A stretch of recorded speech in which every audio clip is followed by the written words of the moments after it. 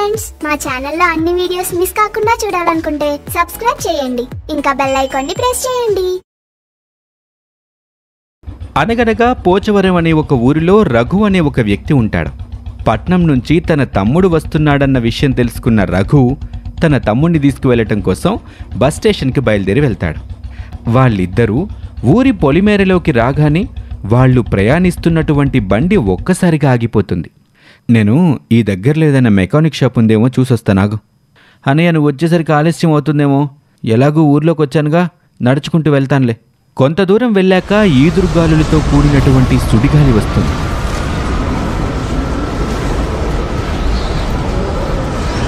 చూస్తూ ఉండగానే అక్కడ ఒక అమ్మాయి ప్రత్యక్షమవుతుంది. లలిత వచ్చిందమ్మా. నాకు ఇష్టమని పాయసం తీసుకొచ్చింది. లలిత రావడం ఏంట్రా పిచ్చివాడా? తాను అసలు ఈ ఊర్లోనే లేదు. నువ్వు బాధపడతావని నీకు చెప్పలేదు. తను ఎవరితోనే లేచిపోయిందని ఊర్లో అందరూ అనుకుంటున్నారు. ఇప్పటికే చాలా ఆలస్యమైంది. అక్కడ మన కోసం ఆడపెళ్ళి వాళ్ళు ఎదురు చూస్తూ ఉంటారు. పదండి. అని కాంతమ్మ అంటుంది. ఇక అందరూ కలిసి కారులో పెళ్ళి సంబంధం చూడ్డానికి బయలుదేరి వెళ్తారు. వారు ప్రయాణిస్తున్నటువంటి కారు ఊరి పొలిమేర దగ్గరకు రాగానే ఆగిపోతుంది. అందరూ ఏం జరిగిందా అని కిందకి దిగి చూస్తారు. కారంతా బాగానే ఉంటుంది. ఇక అప్పుడే అక్కడ పెద్ద సుడిగాలొస్తుంది. వస్తుంది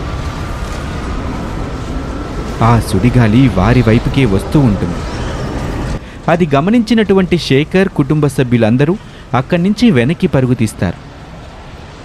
ఆ సుడిగాలి వాళ్ళు ప్రయాణిస్తూ వచ్చినటువంటి కారుని అమాంతం గాలిలోకి విసిరేస్తుంది. పెద్ద చప్పుడు రావటంతో అందరూ వెనక్కి తిరిగి చూస్తారు. అప్పుడు వారికక్కడ లలిత కనిపిస్తుంది. అది చూడగానే అందరూ భయపడిపోతారు. శేఖర్ శేఖర్ నన్ను వదిలి వెళ్ళిపో మాకు శేఖర్. లలిత లలిత! అని శేఖర్ తన వైపు వెళ్ళబోతూ ఉంటే రామయ్య రఘు ఇద్దరూ శేఖర్ని అడ్డుకుంటారు. నాన్న లలిత నాన్న తను నా లలిత నన్ను వెళ్ళనివ్వండి. తాను లలిత కాదురా తను దెయ్యం.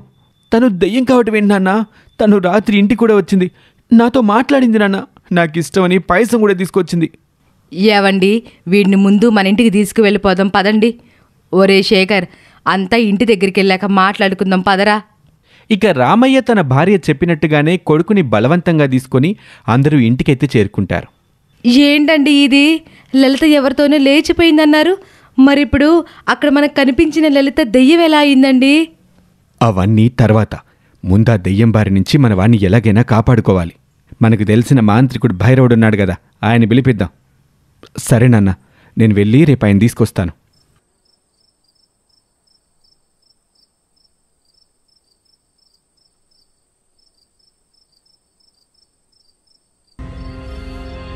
అక్కడ గాలిలో పుర్రెలు ప్రత్యక్షమవుతాయి. ఎవడ్రా నువ్వు? ఇక్కడేం పని? నేను భైరవుని కలవడానికి వచ్చాను. ఆయనతో మాట్లాడాలి. ఆయనతో మాట్లాడడం కుదరదు. ఇక్కడి నుంచి వెళ్ళిపో. ఆయనతో మాట్లాడకుండా ఇక్కడి నుంచి వెళ్ళటం జరగదు. మేమిప్పుడు చాలా ఆపదలో ఉన్నాం. మమ్మల్ని ఆయన తప్ప ఇంకెవరూ కాపాడలేరు. ఏం జరిగిందో మాకు చెప్పు. ఇక ఆ మాటతో రఘు జరిగింది మొత్తం వివరిస్తాడు. అది విన్న ఆ పుర్రెలు మా గురువుగారు మండల దీక్షలో ఉన్నారు. ఇప్పుడు ఆయన్ని ఆయన దీక్షని భగ్నం చేయటం మంచిది కాదు. కనుక మేం మంత్రించి కొన్ని తాయెత్తులు మీకు ఇస్తాం. వాటిని మీరు అందరూ ధరించండి. దయ్యం మిమ్మల్ని ఏమీ చేయలేదు. మా తమ్ముడు ఆ లలితను మర్చిపోవడానికి కూడా ఏవైనా మంత్రించిన మూలికలుంటే ఇవ్వండి. వాటితో ఏం పనరా మీకు? ఈ తాయెత్తులు ఆ దెయ్యాన్ని మా దగ్గరకు రాకుండా కాపాడతాయి. కానీ మా తమ్ముడు ఇవన్నీ నమ్మడు. అసలే వాడు ఆ లలిత మాయలో ఉన్నాడు. కాబట్టి మీరేవైనా మంత్రించిన మూలికలుంటే ఇవ్వండి. సరే అయితే ఇదిగో అక్కడ ఉన్నటువంటి పాత్రలో మంత్రించిన పాయసం ఉంది. ఆ పాయసాన్ని నీ తమ్ముడితో తాగించు. తను లలితని మర్చిపోతాడు. మరి ఆ దెయ్యాన్ని బంధించడం ఎలా? మా గురువుగారు దీక్ష పూర్తయిన తర్వాత ఆయన వచ్చి మీకు ఆ దయ్యం బారి నుంచి విముక్తి కలిగిస్తారు. అంతవరకు ఓపిక పట్టండి. ఇక చేసేదేమీ లేక రఘు మంత్రించిన పాయసం ఆ తాయెత్తులు తీసు అలా వెళుతూ ఉంటే అడవి మధ్యలో ఆ లలిత దెయ్యం ప్రత్యక్షమవుతుంది. ఎరా నా నుండి మీ తమ్ముణ్ణి కాపాడుకుందాం అనుకుంటున్నారా? నేను నా తమ్ముని కాపాడుకోవడం కోసం ఏమైనా చేస్తాను. ఇది మా ఇంటి పరువు ప్రతిష్టలకి సంబంధించిన విషయం. నీలాంటి దాన్ని మా ఇంటికి కోడలిగా రాకూడదని మేం నిన్ను అడ్డు తొలగించుకున్నాం. ఇప్పుడు కూడా ఎలాగైనా సరే నీ బారి నుంచి నేను నా తమ్ముని కాపాడుకుని తెరుతాను. అది మీ తరం కాదు. మీ తమ్ముడు శేఖర్ నా సొంతం. తన ప్రేమ నా సొంతం. నన్ను తన నుండి ఎవరూ వేరు చేయలేరు. నువ్వు ఏమీ చేయలేవు.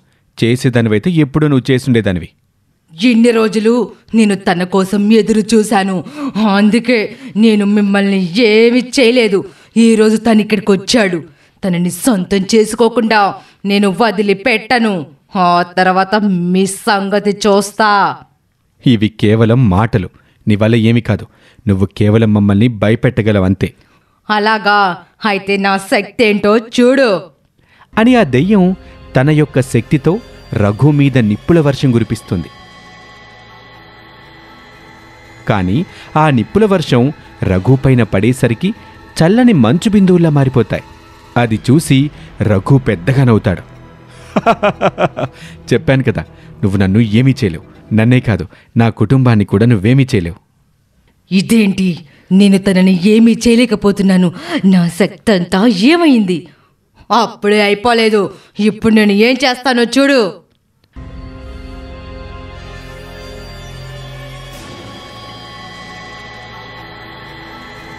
అది చూసిన దెయ్యానికి ఏమీ అర్థం కాదు.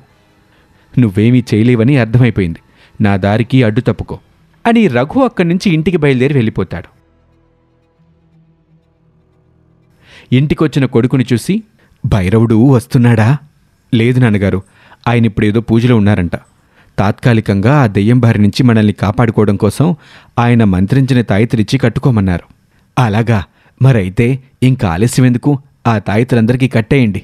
సరే నాన్నగారు. మరిప్పుడు నీ తమ్ముడు లలిత గురించి ఆరా తీయడం మొదలెడుతున్నాడు. వాడిని ఎలాగ ఆపటం? నేను ఆ విషయం ఆ మాంత్రికుడి యొక్క సేవకులకి చెప్పాను నాన్న. వాళ్ళు ఈ పాయసాన్ని వాడి చేత తాగించమని చెప్పారు. ఆ తర్వాత వాడు ఆ లలితని పూర్తిగా మర్చిపోతాడని కూడా చెప్పారు. ఇంకా ఆలస్యం ఎందుకు? ఇది వాడి చేత ఇప్పుడే తినిపించేయి. మనకు పెద్ద తలనొప్పి తగ్గిపోద్ది. అమ్మా అమ్మా ఒకసారి ఇలారా ఇక అప్పుడే ఇంట్లో నుంచి బయటకు వస్తుంది రఘు వాళ్ళ అమ్మ. ఏంటి పిలిచారు? అమ్మా ఈ పాయసం తమ్ముడి చేత తాగించు. ఈ తాయెత్తులు మీరు కట్టుకొని తమ్ముడికి కూడా ఒకటి ఇవ్వండి. దెయ్యం బారి నుంచి మనం బయటపడిపోతాం. ఇక మరోపక్క అడవిలో లలిత దెయ్యం తన మనసులో ఇలా అనుకుంటుంది. ఎందుకని? నా శక్తి వీళ్ళని ఏమీ చేయలేకపోతుంది. నన్ను వీళ్ళు చాలా చులకనగా చూస్తున్నారు. బ్రతికి ఉన్నప్పుడు కూడా నాకు సుఖం లేకుండా చేశారు. చచ్చిపోయిన తర్వాత కూడా వీళ్ళని నేను ఏమీ చేయలేకపోతున్నాను. దేవుడు ధనవంతులకు మాత్రమే సహాయం చేస్తాడా? వాళ్ళకి మాత్రమే అండగా ఉంటాడా? నాలాంటి పేదవాళ్ళకి భగవంతుడు సహాయం చేయడా? అని బాధపడుతూ ఉంటుంది లలిత. ఇక అక్కడ సూరమ్మ ఆ మాంత్రికుడిచ్చినటువంటి పాయసాన్ని తీసుకుని శేఖర్ దగ్గరకు వెళ్తుంది. అమ్మా మీరందరూ లలిత ఎవరితోనో వెళ్ళిపోయిందన్నారు. మరక్కడ లలిత దెయ్యం ఎలా అయింది? నాకేమీ అర్థం కావటం లేదు. నాకు కూడా ఏం తెలిసిన ఆయన ఊర్లో జనాలు అనుకుంటుంటే నాకు తెలిసింది. అసలు ఏం జరిగిందో నాకు కూడా అర్థం కావట్లేదురా. సరే నీకు ఇష్టమని పాయసం తీసుకొచ్చాను తాగు. తన తల్లి తీసుకొచ్చిన పాయసం తిన్న శేఖర్ స్పృహ తప్పి పడిపోతాడు. ఇక కాంతమ్మ పరిగెత్తుకుంటూ బయటకొస్తుంది. పాయసం తినగానే అబ్బాయి స్పృహ తప్పిపడిపోయాడు. నాకేదో భయంగా ఉందండి. ఇక వెంటనే రఘు రామయ్య గబగబా లోపలికి వెళ్తారు. అక్కడ కింద పడి ఉన్న శేఖర్ని మెల్లగా లేపి మంచం మీద పడుకోబెడతారు. ఏం పర్వాలేదమ్మా విశ్రాంతి తీసుకుంటే సరిపోతుంది అని చెప్పి ముగ్గురు అక్కడి నుంచి వెళ్ళిపోతారు. వాళ్ళు వెళ్ళిన కాసేపటికి లలిత అక్కడ ప్రత్యక్షమవుతుంది. శేఖర్కి దగ్గరగా వెళ్ళబోతూ ఉంటే ఏదో శక్తి తనను బలంగా వెనక్కి నెట్టేస్తూ ఉంటుంది. ఆ దెబ్బతో లలిత దెయ్యం ఎగిరి పక్కన పడుతుంది. ఇక అప్పుడు లలిత తన మనసులో ఇలా అనుకుంటుంది. ఏంటి? నేను నా శేఖర్ దగ్గరకు వెళ్ళలేకపోతున్నాను. ఏం జరుగుంటుంది? నాకేమీ అర్థం కావట్లేదు. నేను నా శేఖర్ యొక్క ప్రేమను పొందలేకపోతున్నాను. నాకు సహాయం చేసే వాళ్ళు ఎవరు లేరు. అని శేఖర్ని చూస్తూ ఏడుస్తూ ఉంటుంది. శేఖర్ చేతికి తాయెత్తు కట్టి ఉండటం లలిత చూస్తుంది. ఇక ఆ తర్వాత ఏం జరుగుతుందో మనం నెక్స్ట్ ఎపిసోడ్లో తెలుసుకుందాం. Thank you for watching.